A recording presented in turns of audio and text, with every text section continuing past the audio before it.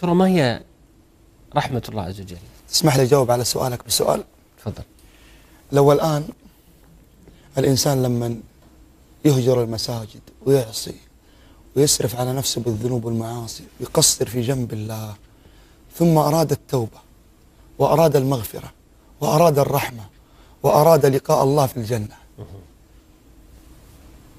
وعلم أن هذه المغفرة وأن هذه التوبة وأن هذه الجنة بيد أمه التي ولدته وأنجبته نعم. ثم أقبل على أمه. هل ستعطيه الأم هذه المغفرة وتقبل توبته وتدخل الجنة؟ والله الأم يحتاج قلبها حنون. إحنا سوينا حلقة عن الحنونة فما بالك يا شيخ علي إن الإنسان إذا أسرف وقصر في جنب الله وأراد أن يتوب وأراد المغفرة يقبل على من هو أرحم به من أمه التي ولدته.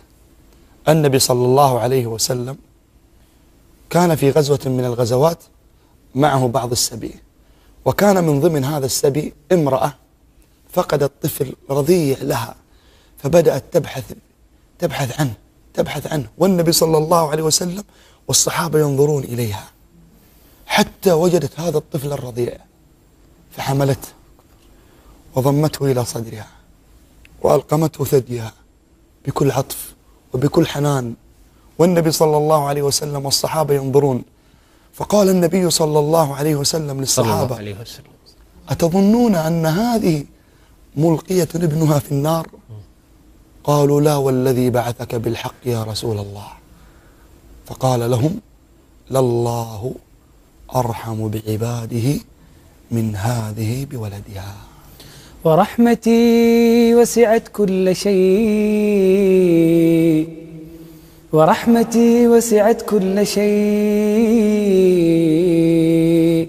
فسأكتبها للذين يتقون ويؤتون الزكاة والذين هم بآياتنا يؤمنون. شيخ علي كان أحد السلف يقول ويدعو الله عز وجل عندما تذكر ذنوبه ومعاصيه بين يدي الله عز وجل كان يدعو الله عز وجل ويقول يا من رحمتك وسعت كل كل شيء. شيء. عبدك شيء من الأشياء فاغفر لي وتجاوز عن سيئاتي. الله. يا من رحمتك وسعت كل شيء عبدك شيء من الأشياء فاغفر لي وارحمني. الله أكبر. قل يا عبادي الذين أسرفوا على أنفسهم. قل يا عبادي الذين أسرفوا على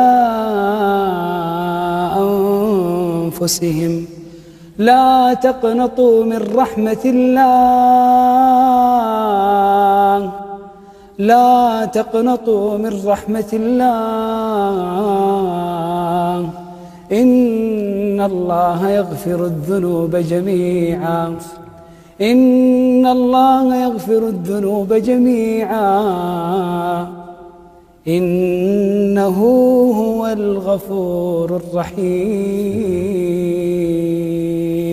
إن الله يغفر الذنوب جميعا. كل الذنوب. كل الذنوب يا شيخ الله عز وجل يقول وهو الذي يقبل التوبة عن عباده ويعفو عن السيئات. حتى لو ما يصلي. ويعفو عن السيئات. حتى لو كان عاق لأمه وأبوه. ويعفو عن السيئات. حتى لو كان غارق في الربا. ويعفو عن السيئات ويعلم ما تفعلون. لا إله إلا الله. شيخ علي أفجر إنسان مر على الكرة الأرضية. الإنسان الوحيد الذي تكبر وطغى على الله سبحانه وتعالى ونادى بأعلى الصوت وقال أنا ربكم الأعلى. فرعون. نعم. حينما أدركه الغرق في البحر أتى جبريل عليه السلام وبدأ يدس في فمه الطين مخافة أن يقول لا إله إلا الله فيرحمه الله عز وجل بها. فقال الله جل في علاه لجبريل يا جبريل وعزتي وجلالي لو استغاثني واستغفرني لغفرت له. يا غالي هذه رحمة الله بمن تكبر على أمر الله ونادى وقال أنا ربكم الأعلى. فكيف هي رحمة الله بمن أقبل على الله منكسرا تائبا باكيا يرجو ما عند الله جل في علاه. الله أكبر. شيخ علي من رحمة الله عز وجل أن الله تبارك وتعالى هو ينادي الشخص لأن يتوب إلى الله. قالت رسلهم أفي الله شك؟ قالت رسلهم أفي الله شك؟ فاطر السماوات والأرض يدعوكم ليغفر لكم من ذنوبكم.